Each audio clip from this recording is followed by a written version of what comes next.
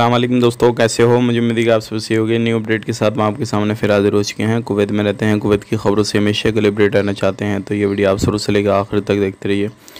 इस वीडियो के अंदर मैं आपको काफ़ी ज़्यादा बेहतरीन जानकारी देने वाला हूँ और आप लोगों को बताने वाला हूँ कुछ ऐसी जानकारी जो कि आपके लिए ज़रूरी है। बिना तरीके वीडियो शुरू करते हैं, लेकिन चैनल को पहली बार देख रहे हैं, सब्सक्राइब करें।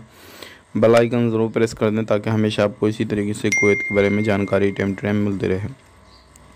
सबसे पहले मैं आपको बताना चाहूँगा, यहाँ पे जो बड़ी खबर आ रही है कुवैत के अंदर, जैसे कि आपको मालूम है, अभी जो लाइन वगैरह बिजती है तो कोपर का तार यूज़ किया था, लेकिन कुवैत के अंदर इस चीज़ की काफ़ी ज़्यादा चोरी वगैरह हो रही है। तो कुवैत गवर्नमेंट इस पर काफ़ी ज़्यादा सोचा विचारी करने के बाद जो है, अब आने वाले वक्त में मिनिस्ट्री ऑफ़ इलेक्ट्रिसिटी जो है, नया विचार कर रही है कि जो कोपर की लाइन है वो बिछाई जाती हैं वो ना बिछा के कुछ दूसरा तार वहाँ पर डाला जाए।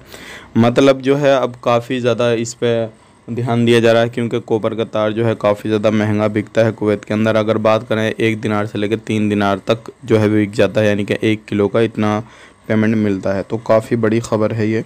अगर आप किसी तरीके से काम करते हैं, ध्यान रखें भाई, और ये चोरी चकारी का तो बिल्कुल भी काम ना करें। अब बात कर लेते हैं अगली ख़बर की तरफ़, जो अगली ख़बर आ रही है निकल के, ये भी काफ़ी ज़्यादा इम्पोर्टेंट है।